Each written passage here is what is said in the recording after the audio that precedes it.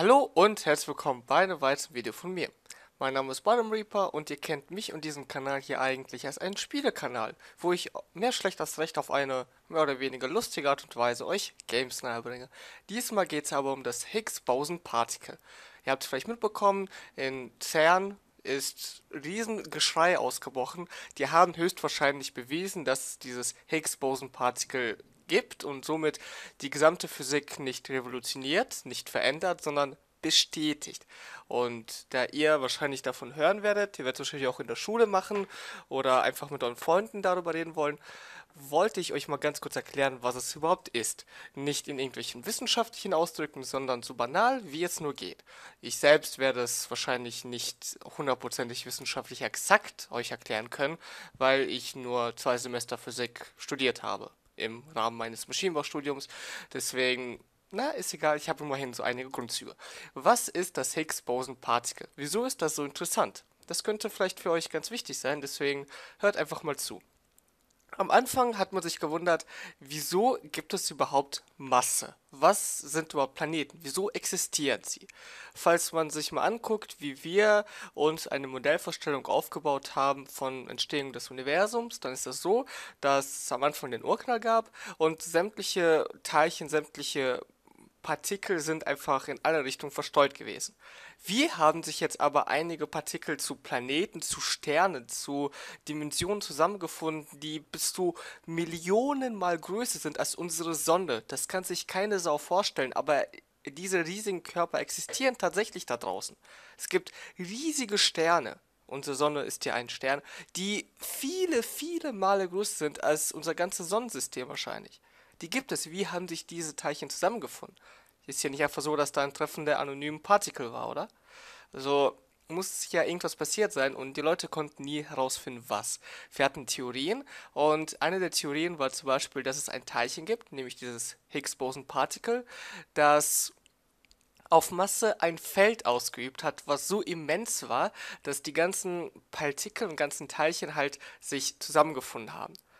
Die Theorie von einem Higgs-Boson-Partikel wäre deswegen so interessant, weil es bestätigen würde, dass sich Masse zusammenschließen kann, ohne das, Angre das Eingreifen von einem göttlichen Wesen. Ich möchte an dieser Stelle nicht sagen, dass es nicht Gott gibt oder sonstiges, aber wir mussten uns immer das Ganze so vorstellen nach dem Motto, so, bis hierhin wissen wir, wie es geht, jetzt passiert ein Wunder und jetzt wissen wir, wie es weitergeht. Und dieses jetzt passiert ein Wunder wurde jetzt endlich aufgeklärt und jetzt wissen wir höchstwahrscheinlich, dass es das Higgs-Boson-Partikel ist. Im Endeffekt wusste man nie, wieso sich Masse nicht synchron bildet, denn falls wir unser sichtbares Universum in zwei Hälften teilen würden, wäre auf der linken Seite nicht genauso viel Masse wie auf der rechten, was Planeten und Sterne und so weiter angeht. Das heißt, es musste zufällig verteilt sein, es musste zu irgendwas kommen, dass Planeten sich bilden und das ist es. Ihr müsst euch das Higgs-Boson-Partikel so vorstellen wie eine Party, wo so viele Kerle sind. Das war zum Beispiel der Zustand des Universums bevor die ersten Masseteilchen sich zusammengefunden haben. Und dann kamen zwei, drei richtig gut aussehende Frauen. Was passiert, wenn zwei, drei richtig gut aussehende Frauen zu einer Männerparty kommen? Es bildet sich sofort ein Riesenkreis um die herum und die ziehen sämtliche Kerle magisch an. Das ist das Higgs-Boson-Partikel. Es ist im Endeffekt eine Frau. Das würde erklären, warum sie sich 40 Jahre lang geziert hat und wir so viele Kopfschmerzen mit ihr hatten. Was eine Analogie. An dieser Stelle also, vielleicht war es ganz hilfreich, einfach mal zu wissen, was das ist. Ähm, wir sind uns noch nicht ganz sicher, also die gesamte wissenschaftliche Welt ist sich nicht ganz sicher, ob es jetzt wirklich bestätigt wurde. Ihr werdet wahrscheinlich in den Nachrichten ziemlich oft den Begriff 5 Sigma hören. Das ist einfach nur ein Wert für die Wahrscheinlichkeit, mit der diese Entdeckung jetzt bestätigt wurde oder nicht. Denn man hat mehrere zehn tausend, ja okay gut, nicht mehr als tausend Jahre, man hat mehrere Dutzend Jahre versucht, diese Higgs-Boson-Partikel zu beweisen, sie nachzuweisen und man hat das gemacht, indem man bei Kern, also CERN ist dieser riesige Teilchenbeschleuniger in der Schweiz, und immer wieder Photonen aufeinander geschossen mit, mit fast Lichtgeschwindigkeit und geschaut, welche Teilchen entstehen dabei. Und jetzt hat man angeblich diese Higgs-Boson-Partikel beobachtet mit einer Wahrscheinlichkeit von im Augenblick 4,9 Sigma. Ähm, sobald man 5 Sigma überschritten hat, wissen wir, dass es sicher so ist. Dieser Wert Sigma ist einfach nur von der Stochastik ein Wert für die Sicherheit von einem Ergebnis. Wie sicher ist eine statistische Aussage?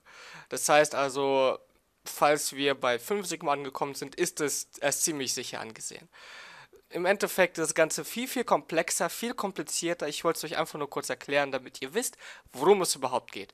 In diesem Sinne, ich hoffe, ihr lest euch das durch. Focus Online bietet da sehr interessante Sachen. Spiegel Online, also hier sämtliche von Stern.de, sämtliche richtig gute, richtig geile Artikel. Lest es euch durch, informiert euch und bildet euch. Es ist sehr, sehr wichtig, denn es verändert die Physik nicht unbedingt auf Grund auf, sondern es bestätigt, was wir seit Jahrhunderten als Theorie annehmen, hat es endlich bestätigt. Ihr müsst euch so vorstellen, ihr habt einen Masterplan, der seit 400, 500 Jahren existiert und endlich ist der sozusagen von Grund auf bestätigt worden, dass es tatsächlich klappen kann. Das ist so, als würde nach einem extrem harten Arbeitstag einer zu euch kommen, die Schulter klopfen und sagen, hast du gut gemacht. In diesem Sinne, ich hoffe, es hat euch gefallen, ich hoffe, es hat euch geholfen. Lest es euch durch. Bis zum nächsten Mal, Jungs. Ciao, ciao.